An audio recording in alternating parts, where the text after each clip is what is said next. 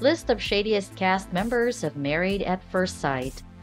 Married at First Sight have introduced the fans with many cast members in the past few seasons. Among them, fans have found out some shady cast members in the show. Although most of the contestants of MAFS tend to throw shade intentionally, some throw it's due to the pressure in the show. Over the years, contestants not only shade their partners but also shade other couples in the franchise. Here is the list of some shadiest cast members of them all.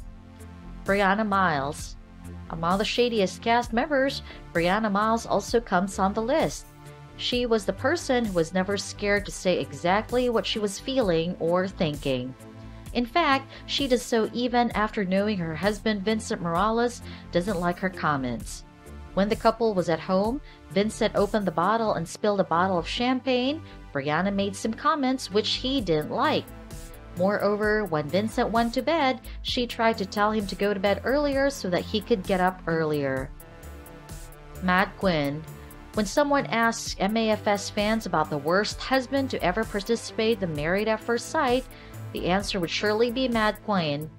Matt is regarded as the most dubious and shady husband in the MFS all seasons. He left the house, returned 48 hours later, lied, and even flirted with a girl when he left. This behavior of him made fans believe that he is not interested in marriage. In fact, he didn't even invite his parents to his wedding with Amber Bowles. Jacob Harder. Jacob Harder and Haley Harris were never happy with each other since the beginning of their relationship. When talking to his ex wife, Haley Harris, Jacob Harder never backed down. After a few weeks, they lost interest in each other, and Jacob found it hard not to make sarcastic comments. When the couple finally asked what they had learned from the process, Jacob answered with a shade but did not say a word, which annoyed Haley. Jamie Thompson and Elizabeth Bice. In the history of Married at First Sight, Jamie Thompson and Elizabeth Bice had the shade throwing matches like no other couples in the MAFS. As both couples had shady behavior, their relationship was very toxic.